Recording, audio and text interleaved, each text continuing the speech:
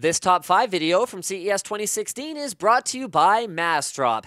While I may not wear a fitness wearable, we all know I'm not trendy anyway, so that doesn't prevent fitness from being our first trend here at CES 2016.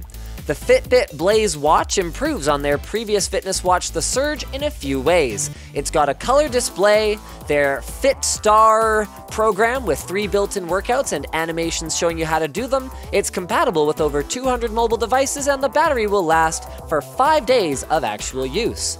The Sensoria Athlete 2000 is a prototype workout suit that uses sensors to track body temperature, fatigue, balance, impact force, running cadence, and more. The whole suit is just a prototype, but you can get a bundle that includes a top for men or sports bra for women, a chest sensor, and an anklet sensor called the Fitness Running System for $400. The Under Armour Gemini 2 with Speedform is a distance tracking shoe. It's not GPS based, instead using accelerometers for accurate motion tracking and Under Armour says this is more accurate than wearing something on your wrist since the sensor is actually on your foot. It transmits data via Bluetooth and can actually store data without a smartphone for five workouts at a time and push to it later on. The shoes are $130. Trend number two is smart home products and automation. The Lyric water freeze and warning detector from Honeywell can be put anywhere where there could be a leak or a pipe freeze, on a tub, under the pipes of your house, and it'll warn you with a push notification and email if the temperature drops below a certain threshold. The Samsung Family Hub smart fridge is actually more than just a tablet stuck to a fridge. It's got a huge 21.5 inch touchscreen and lets you do all kinds of food related things. You can order groceries, you can look up recipes, and it's got cameras inside so you can see what food you have while you're out at the store so you don't end up buying duplicates. The Somabar robotic bartender is kind of like a Keurig for alcohol. It's got three clear compartments that hold alcohol and mixers for a total of 750 mils. You tell the machine through the app what's in the compartments and it's got 300 recipes built in, or you can create your own. You can even add bitters and the machine will flush itself out between uses so things will taste right. It comes in at a pricey $429, but that's certainly a lot cheaper than even a few nights out at the bar with friends, so it might be a justifiable purchase. It'll be available sometime in quarter two. Trend number three is display technology, and this one's kind of a broad one, but there's a lot going on. And Panasonic is showing off transparent displays that look like part of a living room curio slash display cabinet. So it's essentially a window and a display in one. You can also use it as both, for example, if you just want it to display weather info or sports scores in one spot and be able to see through the rest of it. Speaking of seeing through the rest of it, BMW was showing off a concept motorbike helmet with an augmented reality heads up display that sits right in front of the rider so as not to distract him or her. And Panasonic, LG, and Samsung are all starting to incorporate HDR or high dynamic range technology into their higher end TVs.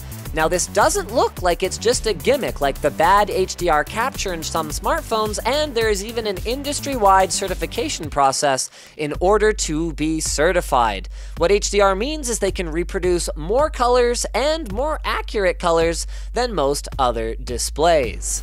Which leads us to OLEDs no longer being only present in smartphones and televisions. No, my friends, Dell's got a desktop monitor and Lenovo has a notebook both of which feature OLED displays that hopefully address the issue with OLEDs and burn in on static images, something that can be an issue with things like the taskbar.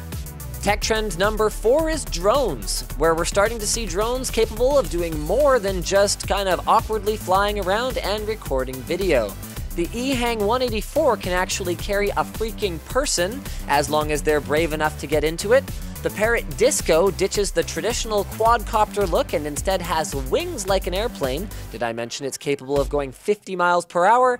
And the unique Typhoon H has an Intel RealSense camera built in, so it can avoid colliding with objects without any user input. Which brings us to our final trend car technology. Cars without mirrors?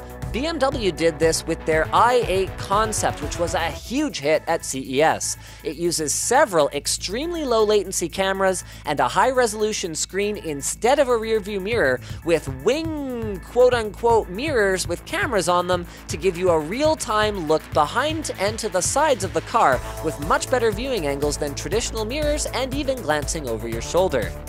Google also looks like they're going to have some competition in the autonomous car market with Ford showing off a self driving Focus that they hope to price low enough to be accessible to the masses. NVIDIA also showed off its NVIDIA Drive PX2, an updated version of the original Drive released last year. It's the computer that could control your first self driving car. It's as powerful as 150 MacBook Pros or 6 Titan X's, and it's even liquid cooled. It also uses cloud based deep machine learning to improve. Volvo has already adopted the technology. This video on the top 5 tech trends at CES 2016 was brought to you by Massdrop. Massdrop is the place to go to get awesome deals, whether it's on, you know, computer parts or keyboards or monitors or ultralights or whatever the case may be. Massdrop has got so much cool stuff and they're always getting more because the way Massdrop works is the community finds cool stuff that they want and Massdrop works through authorized resellers, distributors, and the manufacturers themselves themselves to get great deals on those items for the Massdrop community. And the more people commit to buy, the lower the price goes. They've actually got one of our favorite products on there right now, one of LG's ultra wide monitors, and this one is available for purchase on Massdrop right now. But of course, there's so much more to it than that, so head over to drawdops slash Linus CES dash LG34 to see all the great stuff that they've got there, or even request an item that you don't see. Thanks for watching this video on the top 5 tech trends at CES 2016. Don't miss any of our videos by making sure that you hit that subscribe button.